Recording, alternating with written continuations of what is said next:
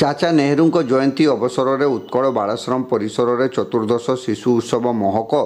ଦୁଇହଜାର ତେଇଶ ଆଜି ପାଳିତ ହୋଇଯାଇଛି କବି ପ୍ରଶାନ୍ତ ଦାସଙ୍କ ପୌରୋହିତ୍ୟରେ ଆୟୋଜିତ କାର୍ଯ୍ୟକ୍ରମରେ ମୁଖ୍ୟ ଅତିଥି ଭାବେ ପୂର୍ବତନ କେନ୍ଦ୍ର ସାର ରସାୟନ ମନ୍ତ୍ରୀ ଶ୍ରୀକାନ୍ତ ଜେନା ପଣ୍ଡିତ ଜବାହରଲାଲ ନେହେରୁଙ୍କ ସ୍ୱାଧୀନତା ସଂଗ୍ରାମରେ ଅବଦାନ ଓ କୁନି କୁନି ପିଲାମାନଙ୍କ ପ୍ରତି ଥିବା ତାଙ୍କର ସ୍ନେହ ସମ୍ପର୍କରେ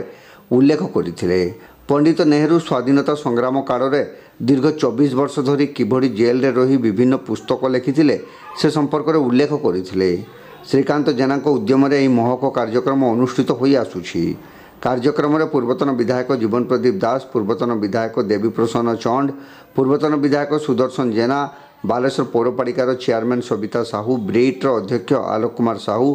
ଯୁବ ନେତା ବିକ୍ରମ ପଣ୍ଡା ପ୍ରମୁଖ ଉଦ୍ବୋଧନ ଦେଇଥିଲେ କାର୍ଯ୍ୟକ୍ରମରେ ବାଲେଶ୍ୱରର ବହୁ ବିଶିଷ୍ଟ ବ୍ୟକ୍ତି ଯୋଗ ଦେଇଥିଲେ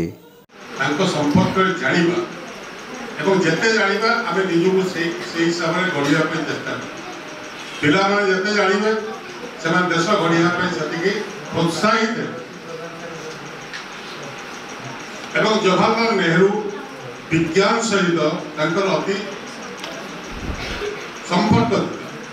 ଯେ ବିଜ୍ଞାନର ବିକାଶ ନହେଲେ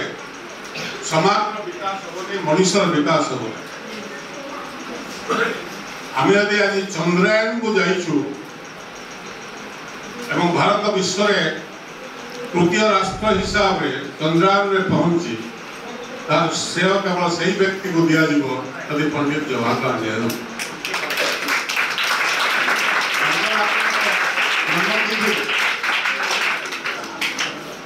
ଆମେ ଏଠି ଏକତ୍ରିତ ହେଇଛେ ମୁଁ ଭାବୁଛି ଭାରତବର୍ଷର ପ୍ରତି ସ୍କୁଲରେ ପ୍ରତି ଅଞ୍ଚଳରେ ତାଙ୍କ ପ୍ରତି ଶ୍ରଦ୍ଧା ସମ୍ମାନ ଜଣାଉଥିବେ ଲୋକେ ଆମେ ଯେତେବେଳେ ନିଷ୍ପତ୍ତି କଲୁ ଯେ ଏଇଠି ବଣାଶ୍ରମରେ ଯେଉଁମାନେ ଅନାଥ ପିଲାମାନେ ଏକତ୍ରିତ ରହିଛନ୍ତି ପଢ଼ୁଛନ୍ତି ତାଙ୍କୁ ସାହାଯ୍ୟ ସରକାର କିଛି ଦେଉଛନ୍ତି ଏବଂ ଯେଉଁ ବ୍ୟକ୍ତି ସ୍ୱାମୀ ସ୍ତ୍ରୀ ଦୁଇ ଜଣ ଏ ବାଳାଶ୍ରମ ପ୍ରତିଷ୍ଠା କରିଥିଲେ ତାଙ୍କର ଜନ୍ମତିଥି ବି ପାଳନ କରିବା ବ୍ୟକ୍ତି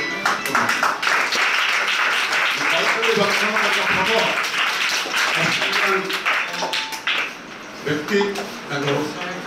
ଉଭୟ